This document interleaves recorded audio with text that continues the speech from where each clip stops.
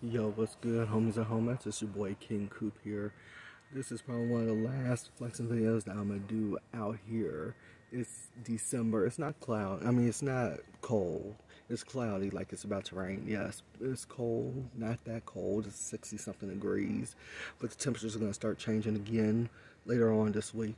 But let me go ahead and get into this video. Currently, I am 267 pounds. I dropped almost 20 pounds, I would say, in about a month and a half so I'm happy where I'm at you can really see the difference so let me go ahead and get into this video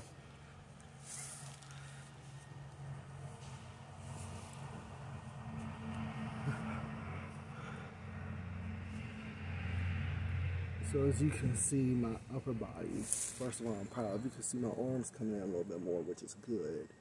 Definitely proud of that. We can see like the I guess this would be biceps right here showing, which is good. That's why I've been working for the entire time, in all honesty. So let me show y'all.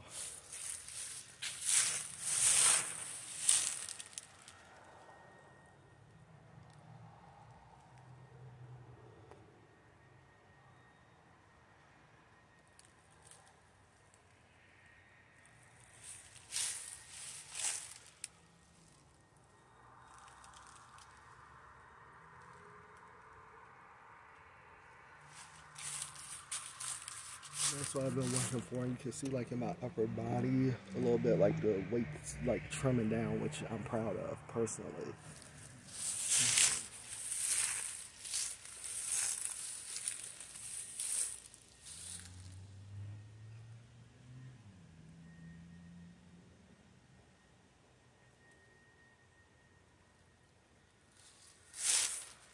Around this time a month and a half ago, I would say, my stomach was kind of out.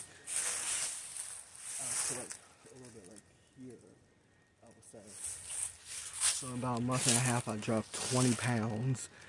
Um, I went from 285 to currently 267.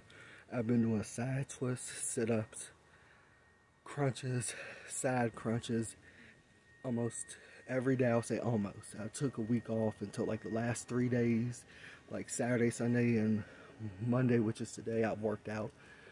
Um, I took last week off to like rest and recuperate my body, but I've been putting in work, lots of work, and that's what that's with anything. You gotta put in lots of work with anything, or else you won't reach your goals. You got to do something to reach your goals, because if you don't, you I mean you're gonna you're just gonna be at a standstill. But yeah, that's what I've been doing mainly. That's mainly what I've been doing.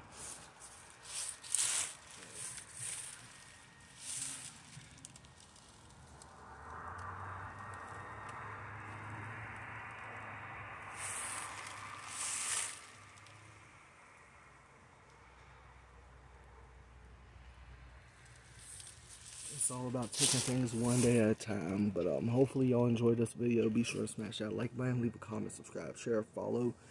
Do what you gotta do. And until next time, much love. Stay safe, stay cool, y'all. Peace.